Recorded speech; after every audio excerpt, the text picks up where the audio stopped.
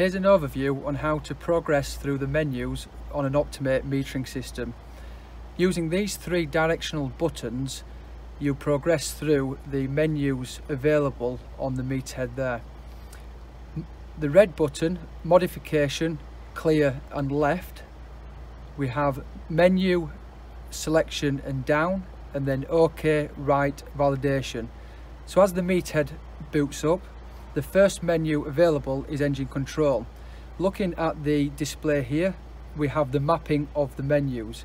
Selection drives you down through the menus available.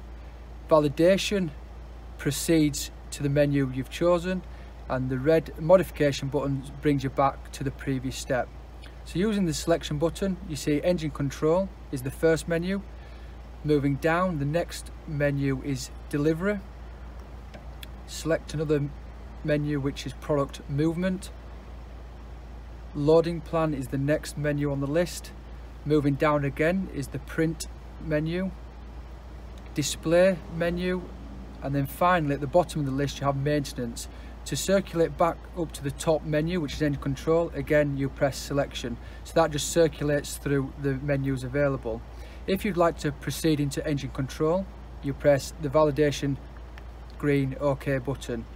At this point it brings another menu which have the option of engine stop or you can select engine start. At that moment you press the green button to start the engine and then the red button modification to come back to the main menu. You would then progress through the rest of the menus to either commence a delivery through the delivery menu or the product movement in product movement.